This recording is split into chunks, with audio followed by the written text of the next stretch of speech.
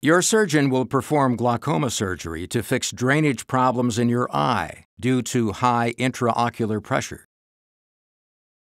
The anterior chamber is filled with a watery fluid called aqueous humor that bathes and nourishes the cornea and lens.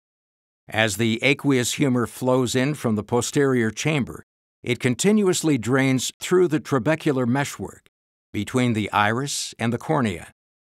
Proper flow of the aqueous humor keeps the pressure inside the eye normally balanced. In glaucoma, aqueous humor drains out too slowly or is produced too quickly, causing a buildup of fluid which increases the intraocular pressure. Under the strain of this pressure, the optic nerve fibers become damaged and eventually die, which may result in permanent vision loss.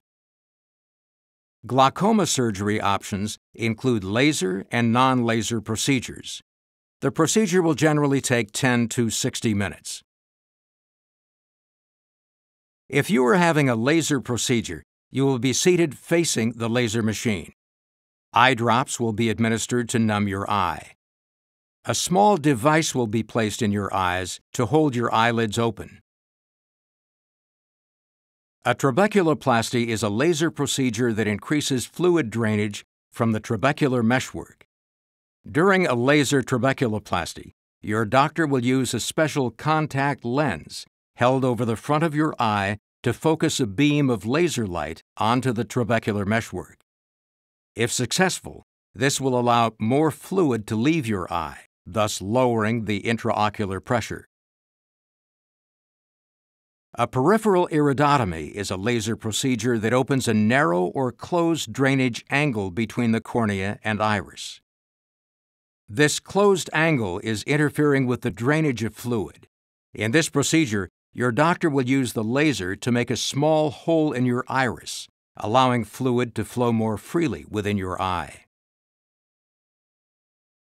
Cyclophotocoagulation, or CPC, is a laser procedure that reduces production of aqueous humor.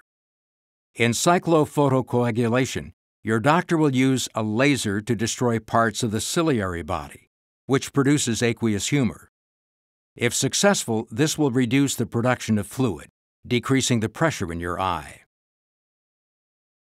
A trabeculectomy is an incisional surgery that removes some of the trabecular meshwork in the eye.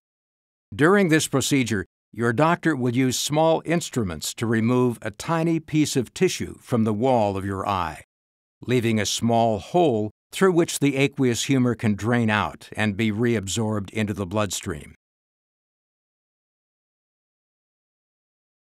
While medications and surgical treatments may help prevent further vision loss, they cannot restore vision that is already lost due to glaucoma. After the procedure, you will be monitored for one to two hours before being released. You may be given an eye patch or bandage to wear temporarily. You will be prescribed eye drops and instructed on their use. Your doctor will likely advise you to keep your eye dry for a time by avoiding swimming or showering and to temporarily refrain from driving, heavy lifting, or straining.